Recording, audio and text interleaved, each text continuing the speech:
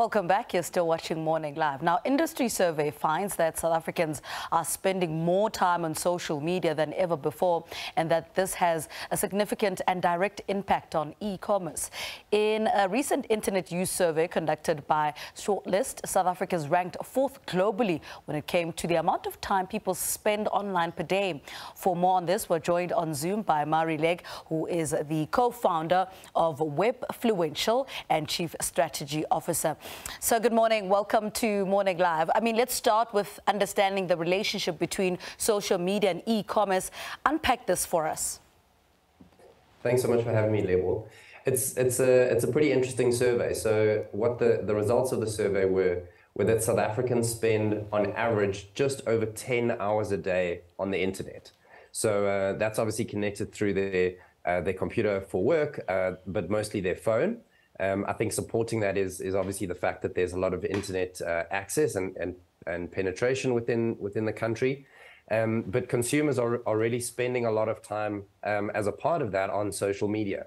And in doing so, they're learning a lot about brands, they're learning about services, um, and and they're starting to to interact with those and actually go on to purchase them at an e-commerce point of sale. Mm. So it's it's naturally a discovery process um, where where people are, are learning about uh, what what their friends, colleagues, and and other uh, citizens are up to, and then they're going on to to actually uh, buy those things through through their phones or or even on their computers. Mm-hmm.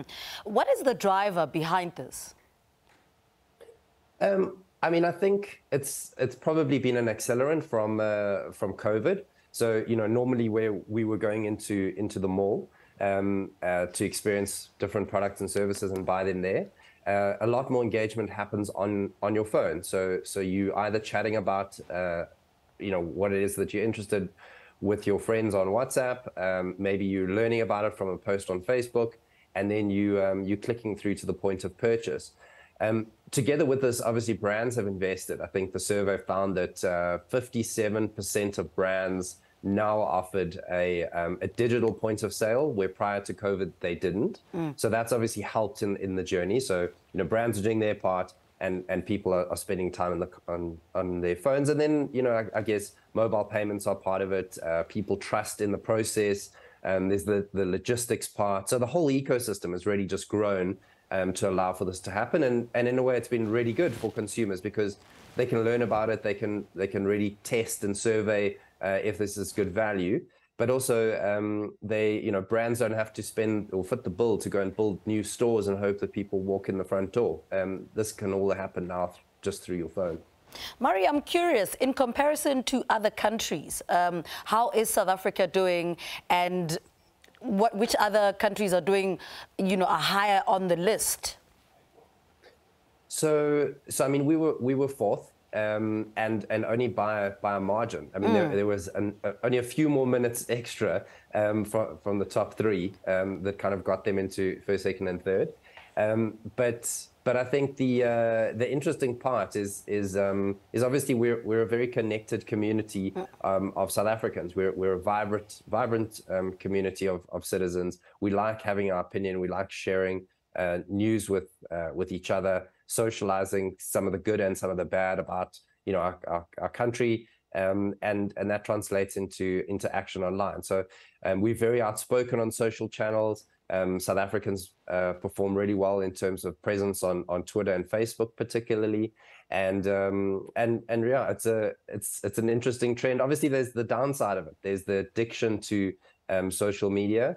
Um, there's the you know the, the rest of our, our lives that get missed out on because we spent spend our time connected through to our phones um, but you know I, I, think it supports the fact that we we love to to share our opinion and uh, and and go through to shop Speak to us about how the influence and importance of social media in the path to purchase is undeniable.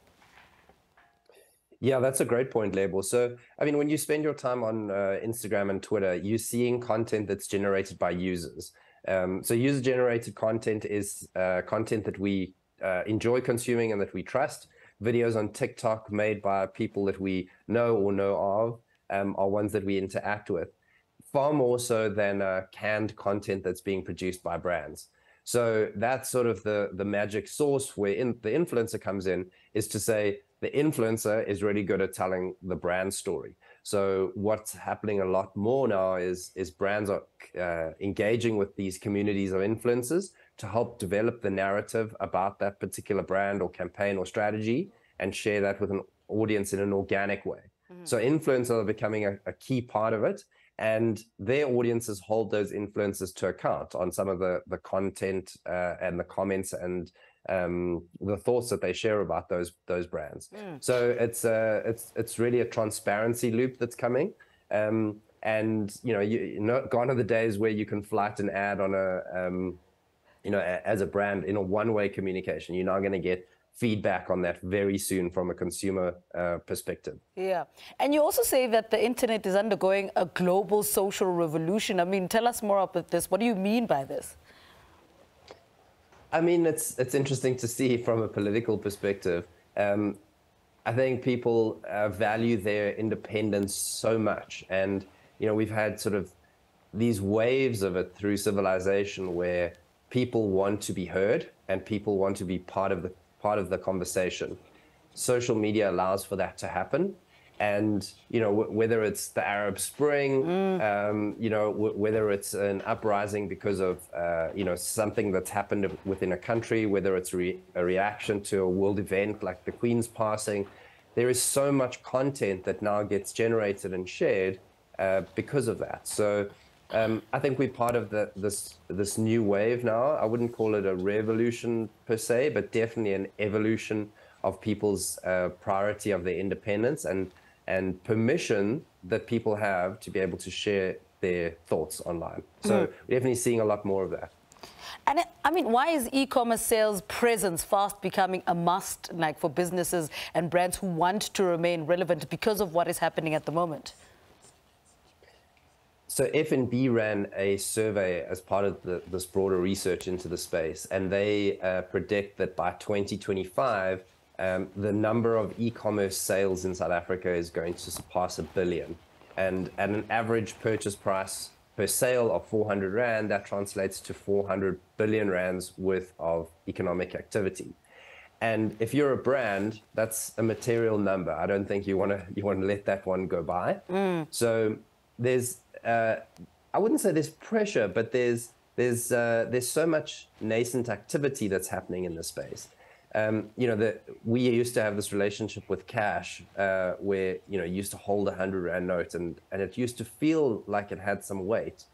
It's a lot more difficult to do that when uh, when it's all digital and you can just tap yeah. and your your money disappears out of your account and someone else has got your 100 rand these days yeah so um, all of the digital rails that have been put in place to allow for e-commerce are all in support of um, of e-commerce and um, and uh, yeah, I, think uh, it's an interesting place for for uh, brands to start learning about yeah. what their consumers are saying, where they where they're participating, and how they want to buy and consume those services. Mm -hmm.